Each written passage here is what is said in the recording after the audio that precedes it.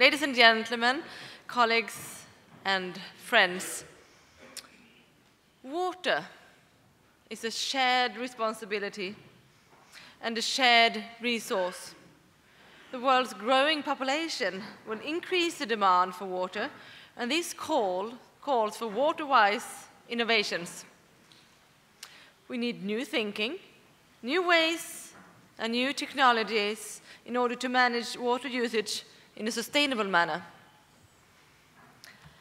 The private sector has an important role.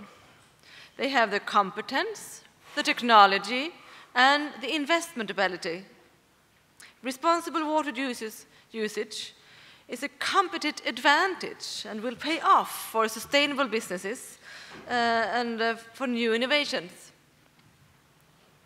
We need to use this dynamic, dynamic force and come up with innovation, innovative solutions for water usage to redo, reuse, reduce, and recycle.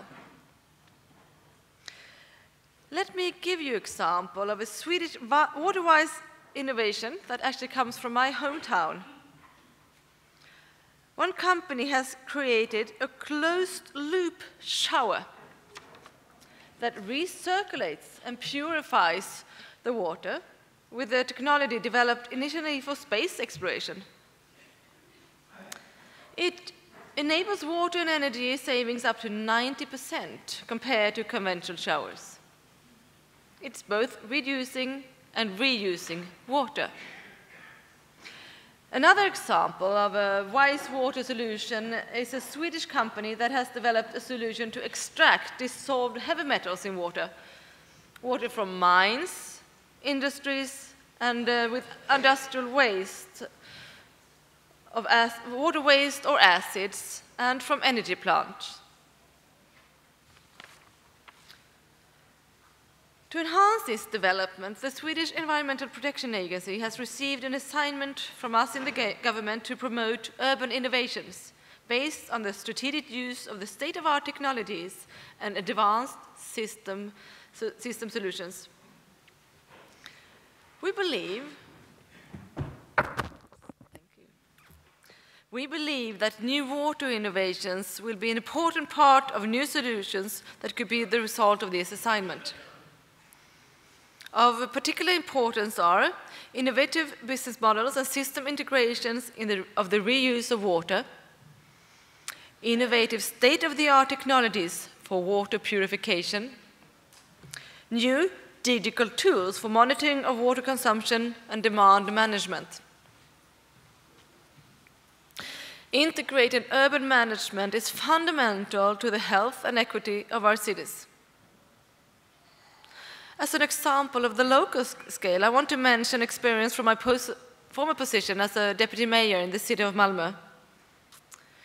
Through partnership and working with sustainable wastewater solutions, especially new innovative, solutions for stormwater, we transformed one of the most socio-economic exposed and vulnerable areas in Malmö into a promising living area without increasing the cost of housing.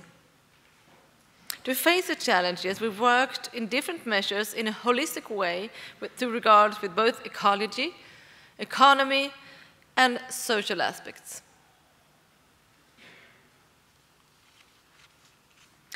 Climate change is a challenge of our generation. Water crisis and climate changes are tightly interlinked. Reinforced efforts are needed. There's a great need to identify risks and vulnerabilities. Knowledge about climate change and its effects on society must increase. Preventive measure, measures are much more cost efficient than reactive.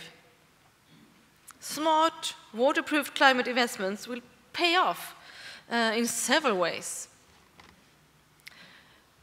Therefore, a national center for climate adaptation is uh, permanently established in Sweden. It has the task to collect, compile, and make available, available knowledge on climate change and adaptation.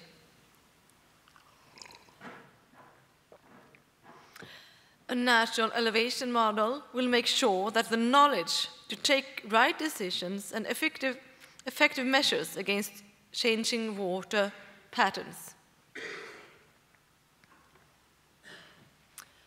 Water is a necessity of life and an engine for development. By raising awareness of the ecosystem, ecosystem services that water serves us all with, it comes clear that sustainable water management is paying off and is a good investment. Without addressing the water issue, we cannot properly address poverty. All production and economic development on this blue planet fundamentally depends on water. With no water, no life.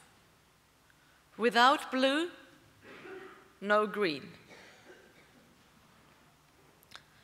The consequences of environmental and climate degradation affects women and children the most. We need progress in all mentioned areas to improve the living conditions, not the least for women and girls. We all face challenges with increased need of water. Innovation and cooperation will be essential as we join forces and secure a more prosperous future for our children. We must do this. We must do it together, and we will.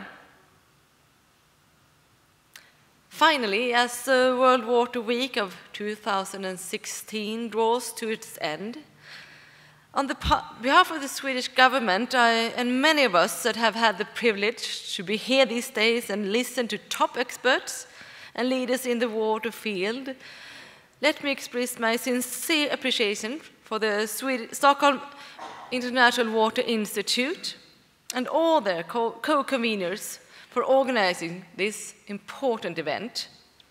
And of course, I would like to invite all of you to come back to Stockholm next year and hope to see you then. Thank you.